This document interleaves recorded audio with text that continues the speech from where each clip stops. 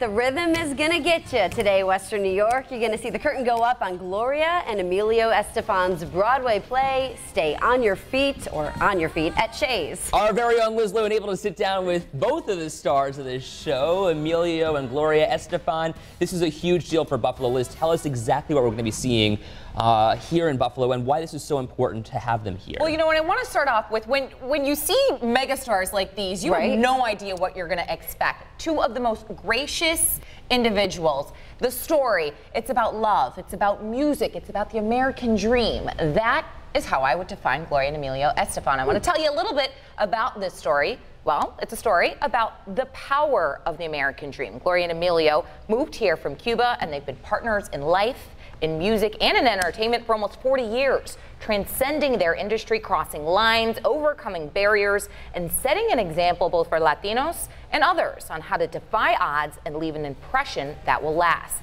That's exactly what their Broadway hit On Your Feet is doing, and now it's doing it right here in the Queen City. A first of its kind, the hit features nearly an entire Hispanic cast, one that brings the Cuban and Latino culture to life.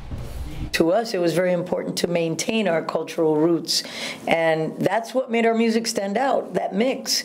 Uh, there were a million pop singers and pop stars, but our music had a sound that crossed over into many countries in the world, and yet it came from a very real place. Yeah, really real place, their heart. They talk so much about that on your feet. It's the first Broadway show of its kind, like I said, to cast nearly 99% Latinos.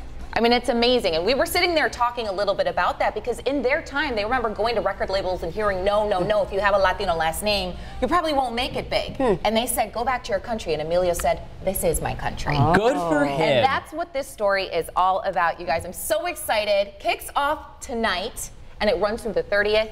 And everybody's got to check it out. We'll have more at the bottom of the hour. Though. How amazing that one of our own actually in the show as well. Yes, speaking of that, we've got an OP native in the show. He's been in eight Broadway shows. He said, you know what? It's an honor not only to be in this show, but to be kicking it off in his hometown. Sure thing, absolutely. A big deal for Buffalo no matter how you swing it. This is gonna be one of those shows you go to where you see the audience really moving. and that's the thing, right? I know, Sarah, you're going to kill me, but I have to put this in here. They said, if you're not on your feet, then we haven't done our job. So you've got Gloria and Emilio's um, permission to get up and dance. All right, audience enough. participation. Liz Lewin, thanks so Thank you, much. Liz. Hey, you saw those images of South Beach Yeah. portrayed there? It's going to feel like that when you're going in and out of Shea's. Let's go ahead and show you what